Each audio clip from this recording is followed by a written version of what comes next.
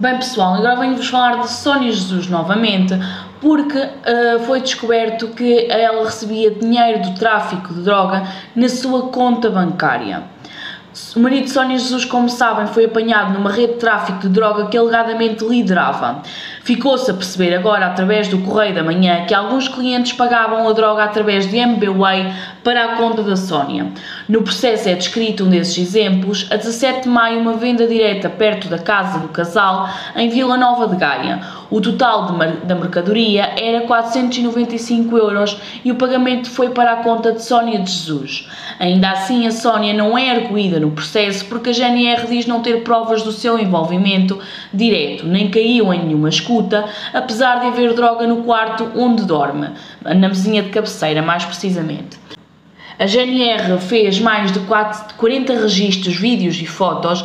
Foram ainda efetuados muitos registros entre o Itó e o pai de Edmar. O último encontro foi a 21 de maio. Foi fotografado e filmado e em tribunal Vitó remeteu-se ao silêncio.